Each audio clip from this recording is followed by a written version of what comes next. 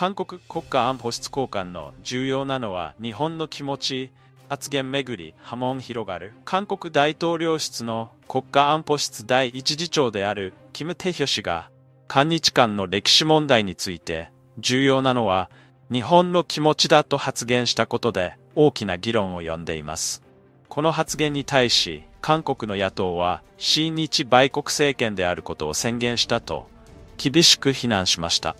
また18日に大統領室がキム次長の発言を弁護する形で日本が数十回にわたる雨いで疲労感が募っていると述べたことも新たな物議を醸しています。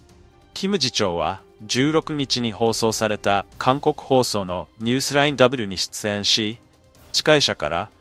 ユン・ソクヨル大統領が幸福説の演説で過去の歴史問題について言及しなかったことに対し、日本のメディアが異例だと評価しているという指摘を受けました。これに対してキム次長は、歴史問題について日本が向き合わず、必要なことを言わないなら、厳しく問いただし変化を試みるべきだが、重要なのは日本の気持ちだ、と述べました。さらに、謝罪する意思のない人に無理やり謝罪を引き出しても、それを心からの謝罪と言えるだろうか、とも発言しました。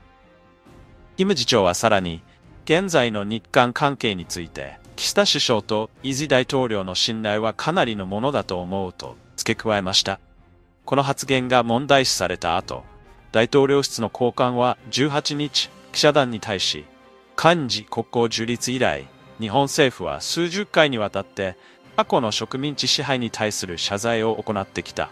こうした謝罪に対して、日本側に疲労感が募っていると述べました。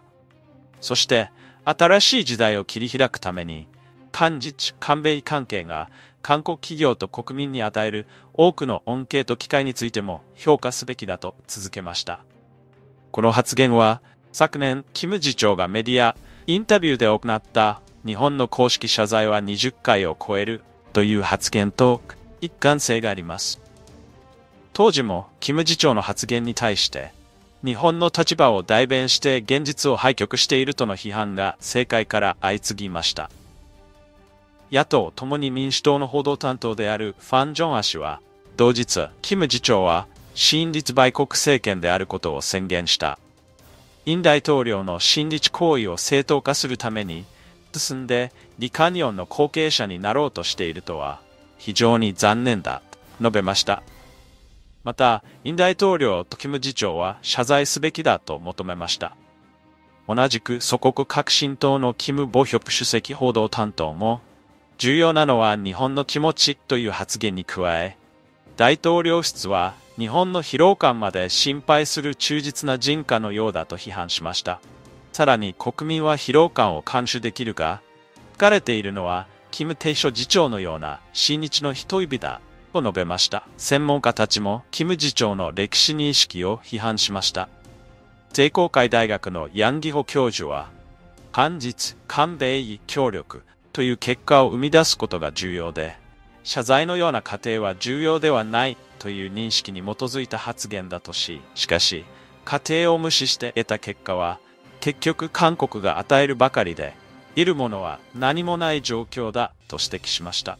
また、カンチャンイル元駐日大使は、日本は一度も反省という言葉を使ったことがない。日本がどのような気持ちであると思うのか、キム次長に聞きたいと述べました。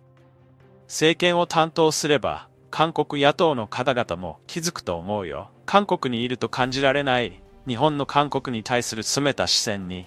もういい加減にしろということなんだよ。今まで何度も謝罪し、様々な保証や協力、援助をしてきた。それでも韓国の要求には再現がない。これ以上韓国の言いなりになって、日本にそれ以上のメリットがあるのか？という疑問が湧くのは当然の話。韓国地下鉄駅の独島模型。日本植民地の解放記念日前に撤去。こびかった育足。日本の植民地からの解放記念日、幸福節。15日を前に、独島のモニュメントを撤去し、論議を呼んだソウル交通公社が16日、独島の日に合わせて新たなモニュメントを設置する計画を発表した。韓国では島根県竹島を独島と呼んでいる。撤去されたモニュメントは10月25日の独島の日に合わせ、乗客の動線を挟まげないよう、一体感を生かした壁面モニュメントとして再設置される。ソウル交通公社は、三室駅の独島モニュメントを4日に、暗号駅のモニュメントを12機家にそれぞれ撤去した。乗客の移動に支障をきたすという理由だった。また、5号線高架門駅にあったモニュメントも、同様の理由で今年5月に撤去された。現在、市長駅、梨田院駅、アニル空港駅の3カ所には、ドクトモニュメントが残っている。ドクトモニュメントは、2009年にソウル市議のイ・サニョン氏らが提案した、特首都守護のためのソウル市対策推進権議案の一環で、ソウル市内の6つの地下鉄駅に設置された。往復説を前に、独島モニュメントが撤去されたことが明らかになると、政治的な意図があるのではないかとの疑念が浮上した。これに対し、放射側は駅の混雑改善のためだったと強調している。ソウル交通公社の関係者は、モニュメントは乗客の足や荷物で歪み、色あせるなどの老朽化と管理上の問題があった。シュタイン雑踏事故以降、地下鉄駅の混雑改善が社会的な課題となり、先を見越した安全対策の一環として撤去を決めたと説明した。ソウル交通公社のペクホ社長は、老朽化した既存のものはリモデリングし、移動の動線確保のために撤去された駅には、立体感を生かしたモニュメントを制作し、壁面に設置するなど、市民の期待に応えるよう努めると語った。韓国最大野党代表にリザヤ氏が再選。歴史問題で日本に厳しい姿勢。韓国の進歩系最大野党共に民主党は18日に全国党員大会を開き、代表選の結果を発表した。リザイミヨン氏59が他の2候補を大差で破り再選された。同党は国会で過半数を占めており、保守系のユンソンによる政権への追及を強める構え。李氏は日本に対して歴史問題などで厳しい姿勢をとる。2027年に予定される次期大統領選への出馬も見据える。ただ、背任など複数の罪で起訴されて公判中で、有罪判決が相次げば、李氏への批判が強まる可能性がある。李氏は代表選出後の演説で、イ氏や与党国民の力のハンドンフン代表に対し、間を呼びかけた。共に民主党の代表選は党員投票の得票率や世論調査などの数字を総合して行う。李氏は得票率85.4%で圧勝した。国会で過半数を占める進歩系最大野党共に民主党の代表として再選した李在だが、依然として司法リスクを抱えており、3年後の大統領選まで求心力を維持できるかがポイントとなる。今回の代表選挙では、85%の得票率で圧勝したことから、共に民主党としては、理財をいい政権に対抗する上で、必要な刺激的なリーダーとして見ていると思われるが、次期大統領候補となると、意見が分かれている。気になる日韓関係、日米韓連携への影響だが、内政向けの反日パフォーマンスは引き続き行うものの、少なくとも、イ政権中は外交安全保障への直接的影響は限定的であるとみられる。韓国では大統領の再選も不可能だし、国会もねじれ状態では、もう野党から左派系大統領が生まれるのも時間の問題のように思える。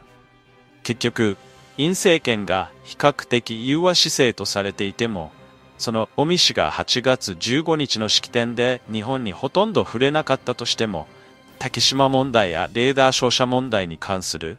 基本的な韓国側の立場も全く変わってないことが浮き彫りになったし、陽日以外の何ものでもなさそうだと感じる。ただ下手に親日をかぶった陽日をされるよりも、通に反日をされた方さんが日本としても毅然とした対応はやりやすいし、今のうちから日本は切り札を作っておくべきだと思う。反日一辺倒いいとこ取りの対日関係の改善をと。現職のイン大統領が不信していることはある程度伝わってくるが、韓国大統領は再選がなく、他の国の政治情勢を踏まえたら、次期大統領が理財名詞になることはほぼ間違いない情勢だ。イー大統領が不ふけど、韓国国民の感情は反日の理財名詞に近いことは言うまでもなく、チャブ大返しも間違いないところだ。今の大統領は前と違い日本に融和的、中でも100年以上前のことで隣国に文句を言っているのは我が国だけ。そんなことはもう止めようと日韓併合について演説した時は、韓国の大統領職で、この発言は勇気あるな、思った。今は日米間で中国、北朝鮮、ロシアと対峙しているが、今の野党から次の大統領が出たら、また文みたいな日韓関係になるだろうな。